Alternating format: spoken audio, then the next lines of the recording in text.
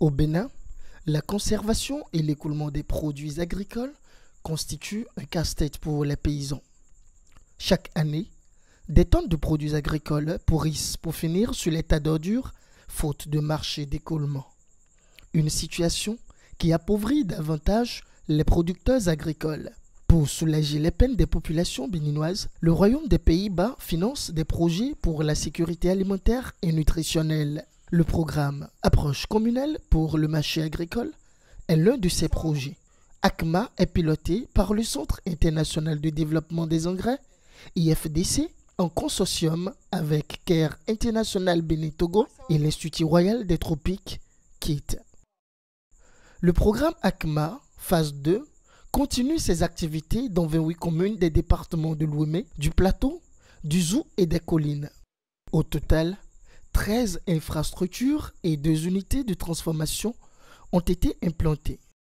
À Koubé, dans le département du Plateau, le magasin de stockage de maïs d'une capacité de 2000 tonnes, exploité par les producteurs et les commerçants du groupement Affaires Béchola, facilite la vente de leurs produits et le développement de l'économie locale.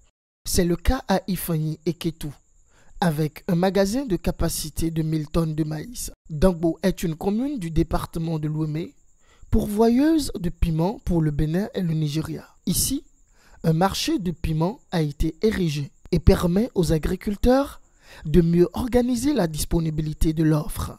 À Sakete, à Djong et à Vrankou, des centres de capacité de 300 tonnes sont érigés pour le stockage et la vente d'huile de palme, produit très demandé sur le marché nigérien.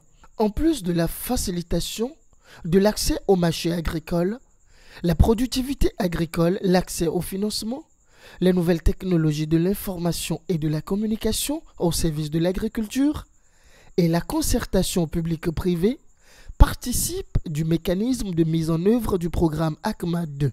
Au sein des cadres de concertation intercommunaux Ouémé Plateau, Zou et Collines, les élus locaux et acteurs agricoles échangent et font des plaidoyers pour l'amélioration du climat des affaires.